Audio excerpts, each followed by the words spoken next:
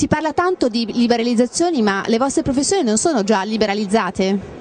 ma sono già libere, infatti alcuni punti che, il cui il decreto eh, liberalizzazioni prende in considerazione va all'esatto contrario della liberalizzazione, basta parlare del tirocinio, cioè quando obbliga un professionista per, essere, per poter fare la professione eh, dover fare un tirocinio da 6 a 18 mesi è contro la liberalizzazione perché per gli ingegneri per esempio attualmente non c'è tirocinio, quindi un giovane ingegnere appena laureato dà l'esame d'estato come prevede la Costituzione, si iscrive all'ordine e fa la professione.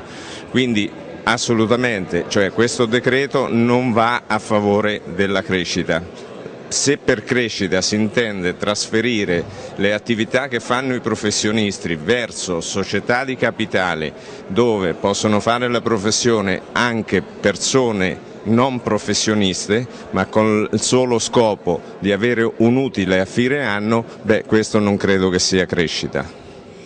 Oggi è una giornata nazionale di mobilitazione, forse è una, la prima volta che il mondo delle professioni decide di mettersi insieme per far sentire la propria voce. Voi rappresentate quasi il 15% del PIL di questo sistema paese. Sì, oltre il 15%, il 15,1%.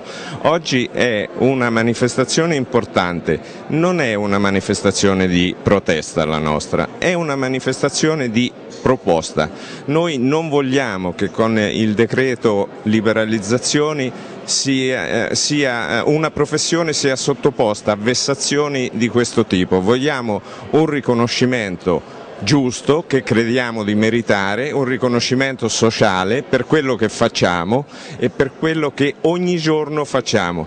Il nostro lavoro è molte volte sussidiario anche all'attività della pubblica amministrazione, ove questa presenta delle deficienze e delle inefficienze. Quindi molte volte ci assumiamo delle responsabilità in proprio per conto della pubblica amministrazione. Quindi noi vogliamo che il nostro ruolo sociale sia valutato per eh, il giusto peso.